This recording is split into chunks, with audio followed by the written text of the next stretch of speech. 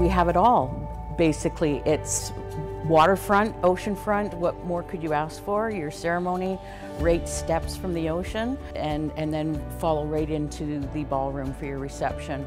Uh, it's an amazing place to um, stay at, eat, and enjoy family vacations as well as weddings.